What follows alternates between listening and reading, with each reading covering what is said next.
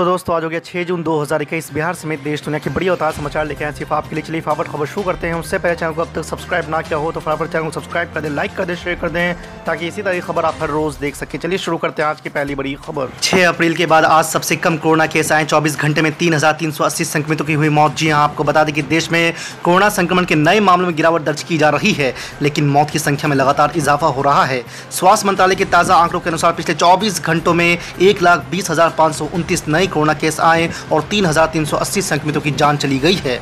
वहीं एक लाख सत्तानबे लोग कोरोना से ठीक भी हुए हैं, यानी कि बीते दिन अस्सी हज़ार सात सौ पैंतालीस एक्टिव केस कम हो गए हैं। इससे पहले इतने कम कोरोना केस 6 अप्रैल को दर्ज किए गए थे। आपको बता दें कि आज देश में लगातार तेईसवें दिन कोरोना वायरस के नए मामलों में से ज़्यादा रिकवरी हुई है। चार जून तक देश भर में बाईस करोड़ अठहत्तर लाख साठ हज़ार कोरोना वैक्सीन की डोज दिए जा चुके हैं। तो वहीं बीते दिन छत्तीस लाख पचास टीके लगाए गए। आज की दूसरी बड़ी खबर, केंद्रीय अल्पसंख्यक मंत्री मुख्तार अब्बास नकवी ने कहा कि हज यात्रा पर निर्णय सऊदी अरब की सरकार लेगी। मुख्तार अब्बास नकवी ने कहा कि कोरोना आपदा के चलते हज यात्रियों के लिए जो भी फैसला सऊदी अरब सरकार लेगी, भारत उसके साथ खड़ा है। आपको बता दें, केंद्रीय अल्पसंख्यक मंत्री मुख्तार अब्बास नकवी अभी रामपुर के दौरे पर है, जहाँ उन्होंने हज यात्रा पर यह बात कही है। नकवी रामपुर में दो दिवसीय दौरे पर है। रामपुर में नकवी ने कोरोना टीकाकरण अभियान का जायजा लेने के बाद सरकार की उपलब्धियों को बताने के लिए मीडिया से बातचीत कर रहे थे। अल्पसंख्यक मंत्री मुख्तार अब्बास नकवी ने हज यात्रा के मसले पर भारत सरकार और सऊदी अरब के सरकार के रुख को साफ़ किया है। केंद्र मंत्री ने साफ़ कहा है कि हज की सारी संभावनाएँ सऊदी अरब की सरकार पर ही निर्भर है और भारत भी सऊदी अरब सरकार के निर्णय के साथ खड़ा हुआ है। आपको बता दें कि मुख्तार अब्बास नकवी ने कोरोना संकट के समय सऊदी अरब सरकार की भेजी गई ऑक्सीजन जैसी मदद के लिए भी धन्यवाद किया है। आज की तीसरी बड़ी खबर, केंद्र सरकार ने केजरीवाल सरकार की घर घर राशन योजना पर एक बार फिर से रोक लगा दी है। दिल्ली सरकार ने राजधानी दिल्ली के बहत्तर लाख राशन कार्ड धारकों के घर तक राशन पहुँचाने की योजना बनाई थी। दिल्ली में पहले बारह अप्रैल से इस योजना का ट्रायल शुरू होने वाला था, लेकिन कोरोना के केसों में वृद्धि और फिर लॉकडाउन के कारण इसे रोक दिया गया था। आपको बता दें कि एक सप्ताह बाद ये योजना फिर से लागू होनी थी और इसको लेकर सारी तैयारी कर ली गई थी। योजना की शुरुआत से एन पहले मोदी सरकार द्वारा इस पर रोक लगा दी गई है। ये दूसरी बार है जब घर घर राशन योजना पर रोक लगा दी गई है। बताया जा रहा है कि दिल्ली सरकार ने इस योजना के लिए केंद्र सरकार से मंजूरी नहीं ली थी। इसके चलते केंद्र ने शनिवार को इस पर फिर से रोक लगा दी है।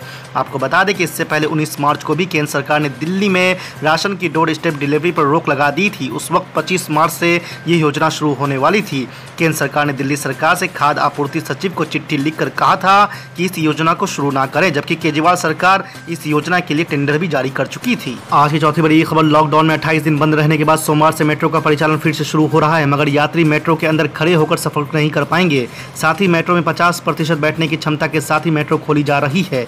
डीएमआरसी ने ट्वीट कर यह जानकारी दी है। डीएमआरसी के मुताबिक दिल्ली मेट्रो सेवाओं को सात जून से फिर से शुरू किया जा रहा है। जानकारी के अनुसार सोमवार से चलने वाली दिल्ली मेट्रो में केवल आधे यात्री को ही सेवा में शामिल किया जाएगा। दिल्ली आपदा प्रबंधन प्राधिकरण के मुताबिक मेट्रो अपनी कुल बैठने की क्षमता के 50 फ़ीसदी यात्री ही सफ़र करेंगे। यानी मेट्रो के अंदर खड़े होकर सफ़र की अनुमति नहीं होगी। डीएमआरसी ने मेट्रो परिचालन की अनुमति के बाद मेट्रो के परिचालन की तैयारी शुरू कर दी है। साथ ही आपको बता दें कि दिल्ली मेट्रो के मुताबिक चूँकि पचास फ़ीसदी की क्षमता से ट्रेन चलेगी, इसलिए दिल्ली मेट्रो अपनी आधी ट्रेन ही परिचालन के लिए उतारेगी। आज की पांचवी बड़ी खबर, कोरोना वायरस से सबसे बुरी तरह से तबाह महाराष्ट्र ने अब पाबंदियों की जद से निकलने का फैसला कर लिया है। महाराष्ट्र ने सोमवार से पाँच स्तरीय अनलॉक योजना की घोषणा की है जो राज्य में कोविड पॉजिटिविटी दर और ऑक्सीजन बेड की उपलब्धता पर आधारित होगी। राज्य सरकार ने शुक्रवार को राज्य को फिर से खोलने के लिए पाँच स्तरीय अनलॉक योजना जारी की थी। इसे अब सोमवार से लागू कर दिया जाएगा। जिलों में कोविड 19 की गंभीरता के स्तर के अनुसार छूट की सीमा तय की गई है। आपको बता दें कि गाइडलाइंस के मुताबिक लोक स्वास्थ्य विभाग हर गुरुवार को स्थिति का आकलन करेगा।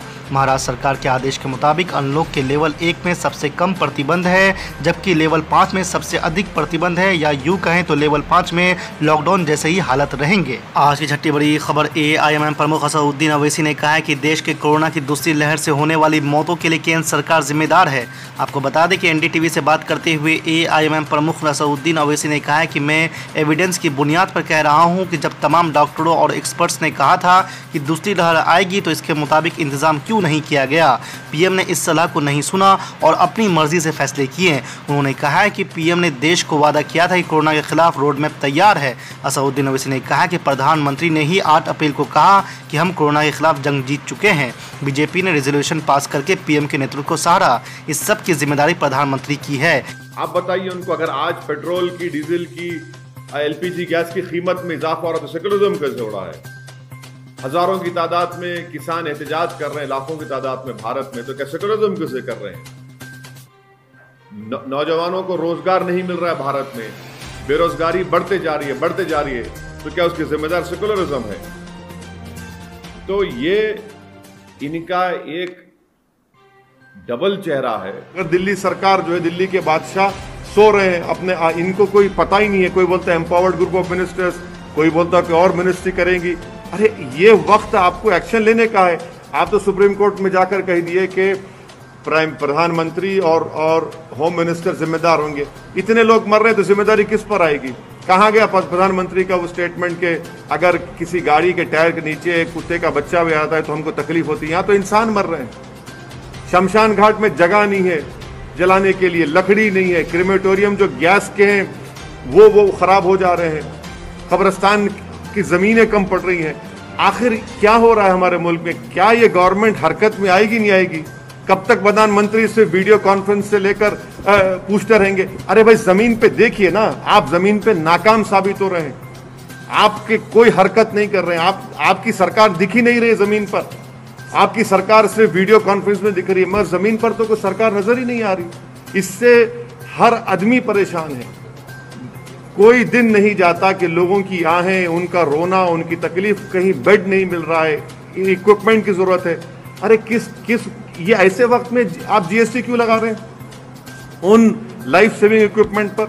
निकालिए जीएसटी को। एक एक एक टाइम तक निकालिए। और फिर इंपोर्ट ड्यूटी आप रखे क्यों इंपोर्ट ड्यूटी उसको भी निकालिए। अरे भाई, इस इस, जब फॉरेन कंट्रीज़ एड दे रही हैं, बांग्लादेश दे रहा है, उज्बेकिस्तान दे रहा है, सब दे रहे हैं हमको तो आपको तो ये काम करना चाहिए था ना। अब दिल्ली में एम्बेसीज हैं। आज एक अफ्रीकन कंट्री का डिप्लोमेट उसको उसकी मौत हो गई। उसको ऑक्सीजन नहीं मिला। मिलिट्री हॉस्पिटल ले जाना पड़ा उसको। तो ये देखकर ऐसा लग रहा है कि सरकार बिल्कुल ही इनविजिबल हो चुकी है। कहीं पर नज़र नहीं आ रही।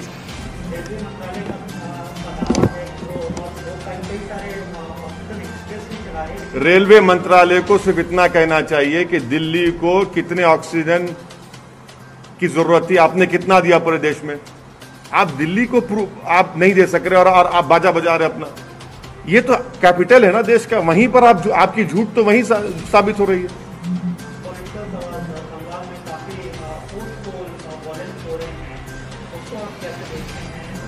नहीं ये इंसान की ज़िंदगी उसकी जान एक फंडामेंटल राइट है भारत के संविधान में। जो कोई सरकार चाहे केंद्र सरकार हो कोई भी स्टेट गवर्नमेंट हो उनकी पहली ज़िम्मेदारी होनी चाहिए कि वो इंसान की जान को बचाएँ।